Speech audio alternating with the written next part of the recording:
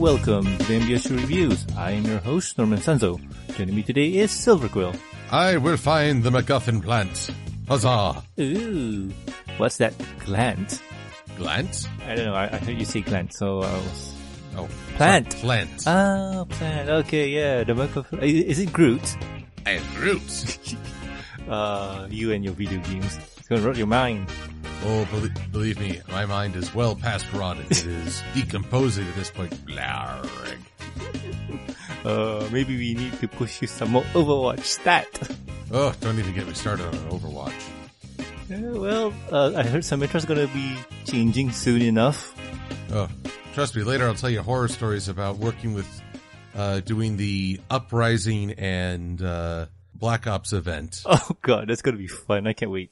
But anywho, this ain't no Pony Overwatch podcast, but it's just a regular Pony podcast. So in today's episode review, we are going to review My Little Pony Friendship is Magic issue 58.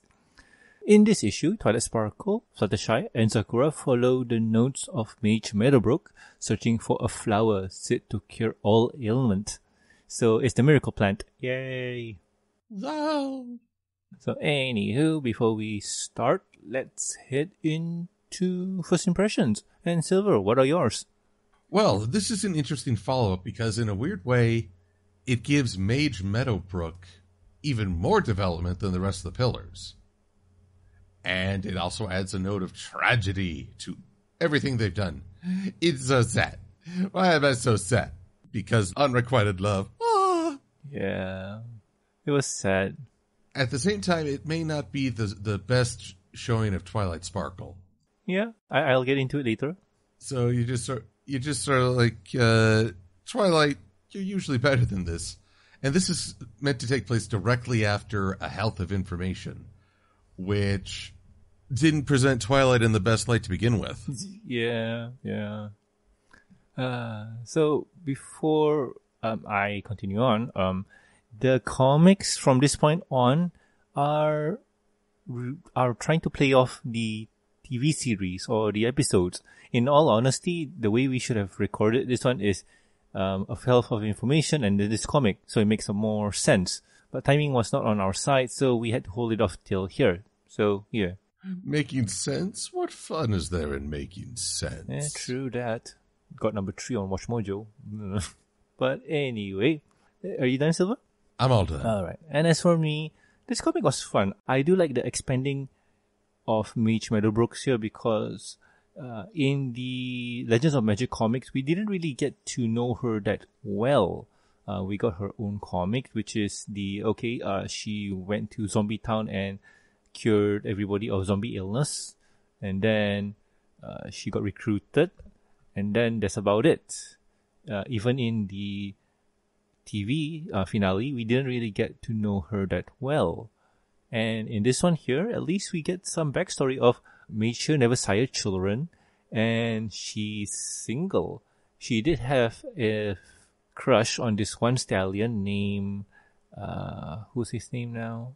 Aquavine? Yeah, Aquavine. So, if she were still around, probably they'll, they, those two would hook up. So, yay, much fun. But, other than that, I do like this comic. Um, I, I think I've babbled on about what I like and dislike, but I'm gonna save it for the end. So anyway, if you guys at home have not read this yet, pause here and go read it. Welcome back. I hope you like the comic. Did, didn't that last part entertain you? It entertained me. Anywho, we start off with our heroes in Twilight's library looking for some back history to something. I think uh, Cattail comes into Twilight's castle and presents them with some kind of documentation by Meadowbrooks. Yes, indeed. Uh, they're, they found some letters regarding a very powerful plant. and they're just trying to find the location of it and whatnot. And yeah, Zecora's in this one too, by the way. Um, we, we forgot to mention that Zecora is in this comic, so yay yay. Wait, Zecora exists? Oh my god! I know, right?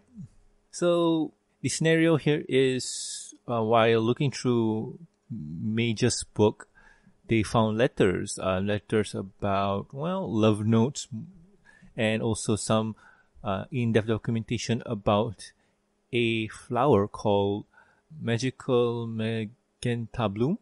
Is that right? I believe so. So, anywho, uh, said flower has the power or possibility to cure all illness from. Um, Twilight mentions it, and I don't remember, but it has the power to cure all illness. So, with that, Twilight is very excited to discover this because uh, she thinks that with this, she could have her name in the footnote of Equestria history. Which kind of an odd thing to say, seeing how you're already a national savior several times over, a princess of friendship. I don't know why you need to be in the medical history books too. Overachiever. Overachiever is one thing. This is I must be the next Star Swirl the Bearded. Funny you say that. She has a crush, or she had she admires the old coot. So why not, right? I don't know about admires the old coot, but she definitely idolizes him. And why not follow in the old man's footstep to get recognized and to get well known that way? So the flower or the notes in Mage's notes uh, said that the flowers could, can be found in Fillydelphia, and with that, the whole gang goes on a road trip to Philly. Yay! Well, it doesn't say that the, the flowers in Fillydelphia wouldn't be a quest if that were the case, but at least they can look up uh, one of Aquavine's descendants. Ah, yes, that too, that too. See, I'm becoming like Twilight. Uh, but anywho, they go to the Hall of Records and they say that one of the descendant of Aquavine still lives in Philly because most of them have moved away. And when they reach to the greenhouse that the vines own, it's owned by I forgot the name. What was the name? You know, this is probably the most frustrating aspect. They introduce a character, but I don't think they ever say her name. She's just even on the wiki, she's listed as Miss Vine. Miss Vine. Huh. Yeah, Miss Vine. Okay. Yeah. I can dig it. Miss Vine. Write it down. So yeah, they all meet up at the greenhouse. Uh, they meet up with Miss Vine and Fluttershy gives um, Mage Meadowbrook's uh, love letters to Miss Vine and saying that hey, this would be something interesting for you to find out because uh, it involves your great great great great grandpappy. Oh, Pepe.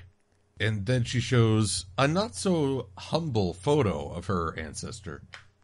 I say that's you know how to put this. You you know how some pictures are posed in a um, showing off way. So I'm saying this is one of them. You know, just for publicity and whatnot. Well, I could certainly agree on the publicity aspect. It's like, hey, ladies, I've got lots of roses. Oh, yeah. Yeah, yeah, yeah.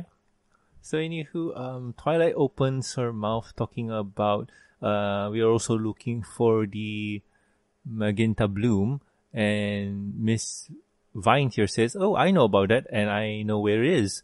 So why don't we start an expedition?"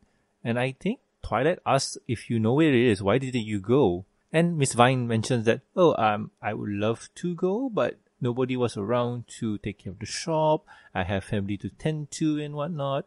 So yeah, I, I don't have it. Luckily for you guys, it's blooming this week, so we can go get it. So why not? Yeah, I call my brother and take care of the shop. Woohoo! For a minute, I just sort of oh, are you going to stay and keep an eye on us? But there's a super plant be blooming right now. Oh, my hip is cracking from sadness. oh. It's like, geez, mom. Why the what? when you mention plant, like why does the rocky sorry, uh, why why does the plant from um what's the Little Shop of Horrors? Yeah, Little Shop of Horrors. Why why is it in my head right now? Feed me. Oh. Feed me Seymour. oh, watching that movie as a kid screwed me up. Like, oh. But anyway, let's carry on. So road trip on the road. And like I mentioned before, Twilight asks uh, Miss Vine about the whole flower and her theory and whatnot. And next panel, they went off on their road trip. um, Twilight asking about the flowers and whatnot. And Miss Misako here kind of wants to know more about Cattail because he seems to be the quiet one because she knows who Princess Twilight is. And Fluttershy's meek and quiet. Zecora's strange, so she doesn't want to talk to her. So the only colt in the group is Cattail. So yeah, she, she wants to know more about Cattail. Why not, right? And they start talking about the legend of Mage Meadowbrooks and how she decontaminated a well. And this story is cool. In spite of the instructions of a bleeding idiot mayor. Yeah, idiot mayor says, no, that's not true. That couldn't be it. Like the well has been there for centuries. Like it's not polluted or whatever it is. You're an idiot. Oh, sure, your sound's getting sick and I'm the idiot. You know what? This is kind of a short flashback. Like it can all be fit in one page.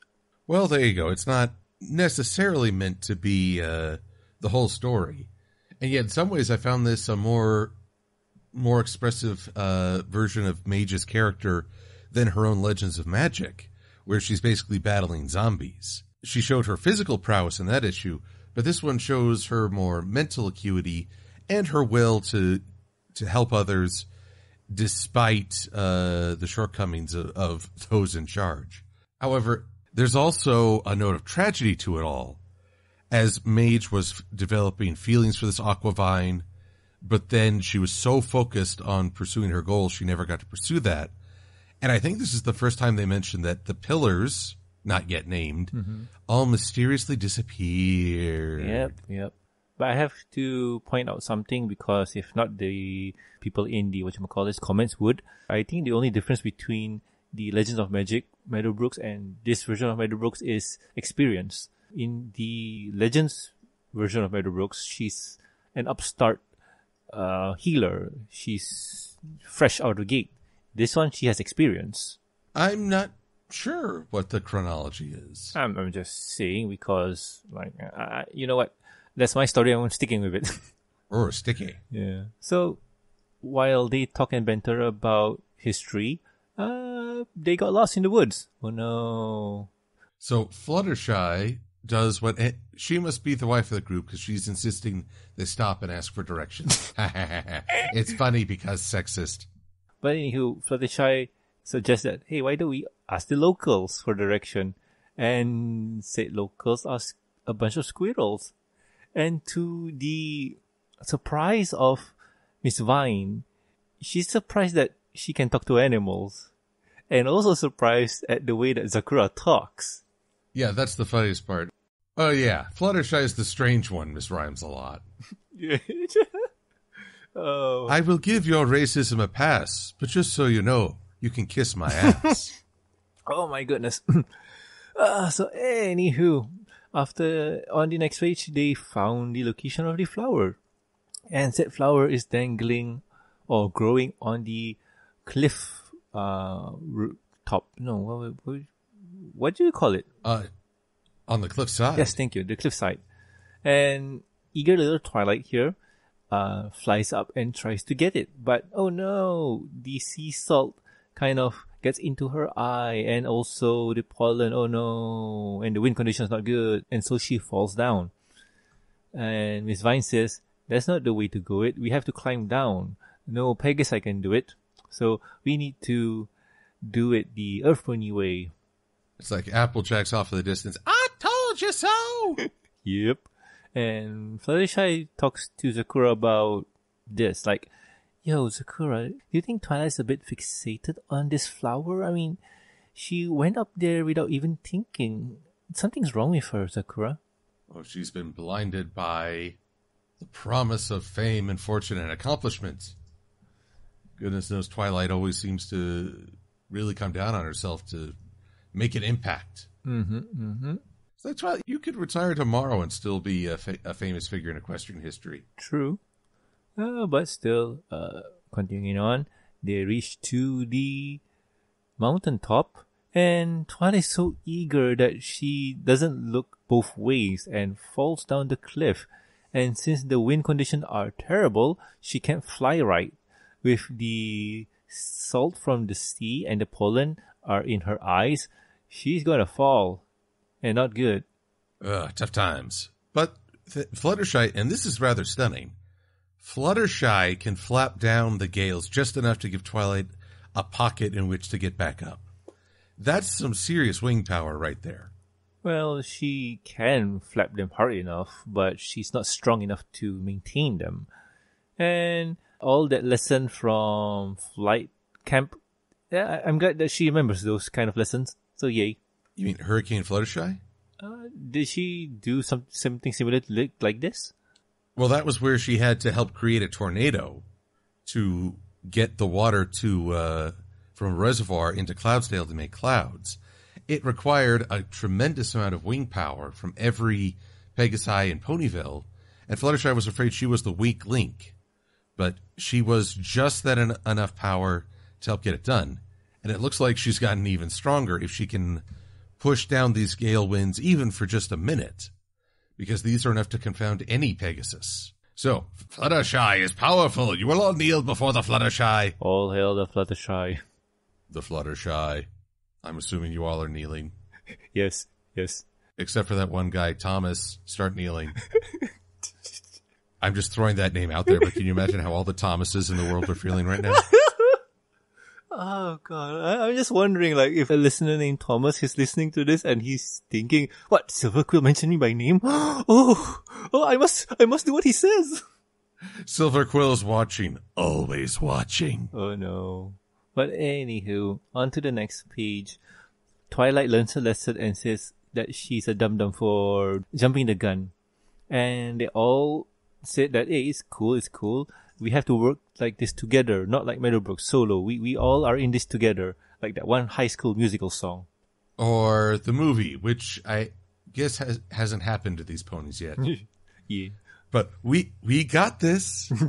we got this. Yeah. Oh boys. But anywho, um, to the next day, they have a plan, and the plan is for Twilight to jump down to the uh, cliff side. What? But it, it's not a dumb move because they tie her to a rope, and Fluttershy is going to do the flapping to calm the wind down a bit, and Cattail is going to uh, tell where to go. And with that, it works. The plan works. Miss Vine and Zecora pull Twilight up, and they got the flowers. And Zecora and Twilight are excited about the possibilities of what could happen now. Yay! And Miss Vine starts rhyming with Zecora, showing that she's not totally a racist. Yeah. I mean, I keep saying that, but really, Chancellor Neighsay is still a good ways off. Yeah, true that. Uh, but anywho, uh, on the way back, it seems that Miss Vine and Cattail are forming some kind of relation, you might say? I ship it. yes, thank you, Claw. Uh, and with that, um, both of our ponies learn their lesson and episode ends. Or comic ends. So, Silver, what do you think of said comic? well, it's kind of funny. They are truly chasing a MacGuffin plant. This can uh, this can enhance the fields of science. Hey, guess what? It doesn't do squat. Uh, Yeah, I mean, it's kind of funny. We never truly see it do anything. Come on, plant. For all we know, the equestrian uh, horticultural society is just going to smoke it. oh no.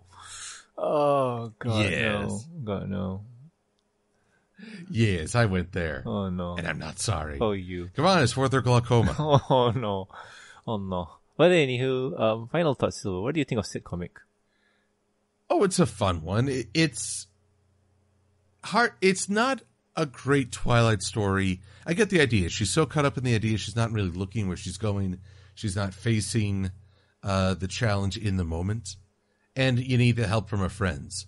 But this is Twilight just after a rather lackluster appearance in uh, A Health of Information. And it's like, where was this determination when Zecora was, you know, at risk of becoming a mindless plant? Uh yeah. Awkward. very awkward. But she still does a lot of good job, and she she's beating herself up a little bit afterwards. But then Fluttershy, she gets to show her best uh, and help her friend, and that's good because these two don't have a lot of interactions in the show one on one. Even when they went on a map mission together, Twilight kind of ignored Fluttershy for a good chunk of time. I will say it it adds an element of tragedy to Mage Meadowbrook that well, it establishes she disappeared along with the other pillars. But to find out that she never she had a chance for love but never followed through. There's a tragic uh, aspect there, and expect someone to start reading poetry at me. Oh, to the virgins to make much of time. Let's see here. How does that full poem go? Uh, not sure. I ain't no poets, so I, I, I really don't know. Robert Herrick. Gather ye rosebuds while ye may. Old time is still a flyin'. And this same flower that smiles today, tomorrow will be dying. The glorious lamp of heaven, the sun, the higher he's a getting, the sooner will his race be run, the nearer he is to setting. Oh, sorry, this is time. Yep, oh, oh to the virgins to make much of time, yes. That age is the best, which is the first, when young blood are warmer. But being spent the worst, and worse time still succeeds the former. That be not coy, but use your time, and while you may go marry, for having lost but once your prime, you may forever tarry. So basically, he's saying, we're all worm food. Don't let too much time pass by. Oh no. Don't let don't let restraint hold you back from living. And that's what I think of when I hear the tale of Mage Meadowbrook and her uh, lost love. Although, without that, Cattail wouldn't be able to get his groove on. True, true. It'll be awkward. Oh no. But yeah. So, um, what what else do you think, Silver? Well, I just quoted a classic poetry at you for a My Little Pony comic book. I think I've stretched the bounds of strangeness. All right, yeah. And as for me, I like this comic. I, I like the way how most of the comics from this point on try to flip the uh, tables on the characters because in the episode we had Fluttershy being the panic manic one about the whole situation until she got sick herself. And in this one, it's Twilight's turn to be all crazy like and super obsessive about the plant. And I just like how they switch it that way. It's, it's fun to see.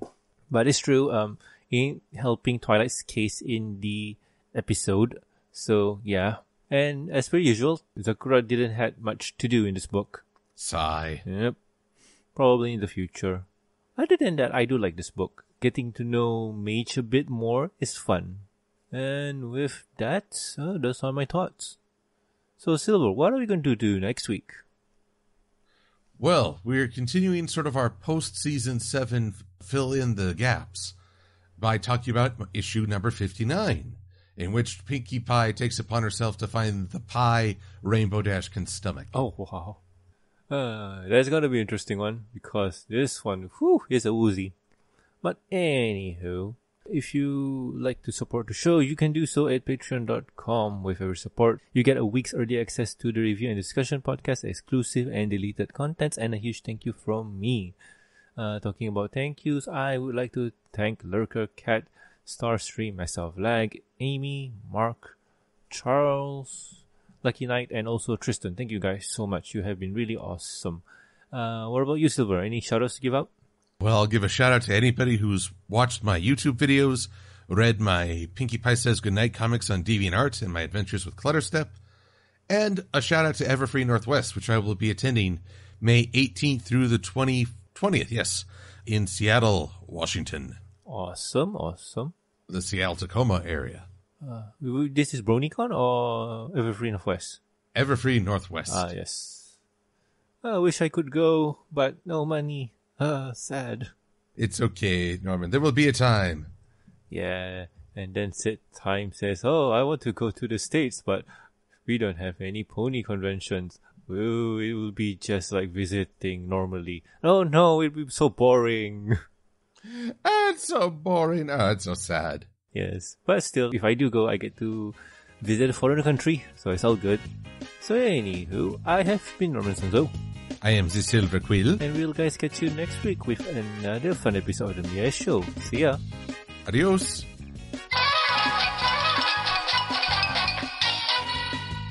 So what are we going to do with that plant? It just keeps saying I am Groot. It's very confusing. I say smoke it. Smoke it? I can dig it. Next thing you know, everyone's just lying in a circle playing the bongos. We are Groot. oh god. Uh, and thus began the Grootty movement.